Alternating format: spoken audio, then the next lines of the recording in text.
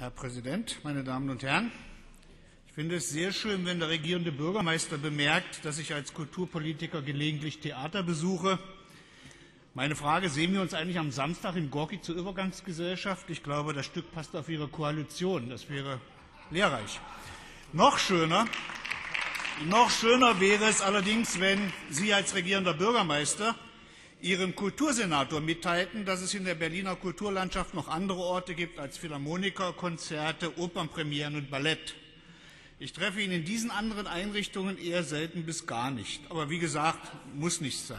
Eher selten bis gar nicht. Zur Haushaltsdebatte ist ja schon einiges gesagt worden. Ich mache hier diese äh, äh, Gesänge jetzt nicht mit.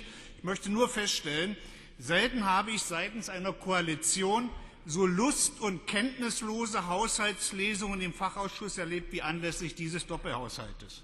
Es ist wirklich nicht verwunderlich, wenn der Hauptausschuss da auch noch eingreifend tätig wurde. Leider hat er das Herumgewurstele nur noch schlimmer gemacht. Frau Lange, ich zitiere einen Ihnen nicht ganz unbekannten Sozialdemokraten namens Wolfgang Thierse, der vorgestern das Abgeordnetenhaus von Berlin aufforderte, den Senat von Berlin vor diesem Hauptausschuss in Schutz zu nehmen. Gut, er hat das Herumgewurstel nur noch schlimmer gemacht. Seine Entscheidungen, die uns heute vorliegende Beschlussempfehlung, hat durchaus einen gewissen Nebengeruch von Klientel- und Wahlkreisbewirtschaftung. Zu Ihren Aufwüchsen, Herr Schlede.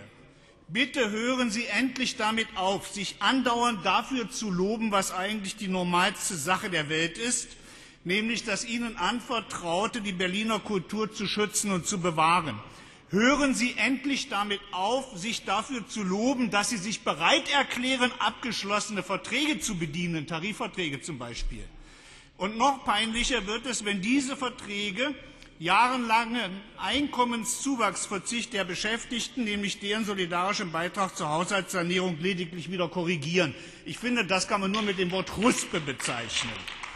Ich finde es eigentlich normal, damit Sie das verstehen, was ich meine, wenn ich bei einem Autohändler einen Wagen mit vier Rädern erhalte. Würde der aber so wie Sie argumentieren, würde ich dem noch nicht mal einen Tretroller abkaufen. Und die leicht die leicht königlich gönnerhafte Geste, mit der der regierende Bürgermeister vorhin den Haushalt des Kultursenators erläuterte, erinnerte mich irgendwie an Friedrich den Großen. Das war ein gewisser Politiker von Format.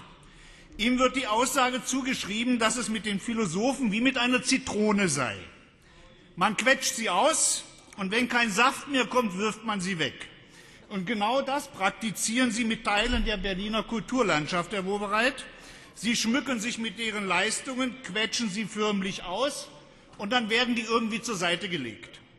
Die zynische Idee der Herren Kollegen Graf und Saleh, mit den die 25 Millionen Euro überschießenden Einnahmen aus der Citytax, also übersetzt einer Summe, die sich der Null nähert, mit dieser Nullsumme dann von unten oder von oben genau einer Summe, die sich der Null nähert, die wollen Sie dann noch dritteln und dieses Drittel wollen Sie der freien Szene zur Verfügung stellen. Das ist schon unerhört. Den fast 440.000 frei arbeitenden Berliner Künstlerinnen und Künstlern kann man, denke ich, nicht deutlicher klar machen, dass man sie eigentlich für nebensächlich hält, für ausgequetschte Zitronen und sie sich genau genommen vom Acker machen können. Gestatten Sie eine Zwischenfrage der Kollegin Lange? Nein, jetzt bin ich gleich fertig. Wir können dann disputieren. Einer von diesen, einer von diesen, machen Sie es sogar recht unverblümt von Angesicht zu Angesicht klar, den sogenannten Finanzierungsvorschlag für Sascha Walz und Guest kann man nur als perfide bezeichnen. Und genau diese Art des Kulturkannibalismus der Betroffenen untereinander, den Sie jetzt hier befördern, den wollte die Koalition für die freie Szene eigentlich vermeiden. Sie spielen die Gattungen gegeneinander aus. Sie spielen die Freien gegen die Institutionellen gegeneinander aus. Und aus der Not einer vollkommen konzeptionslosen Kulturpolitik fallen Sie zurück in das alte Teile und Herrsche. Zurück zur Zitrone.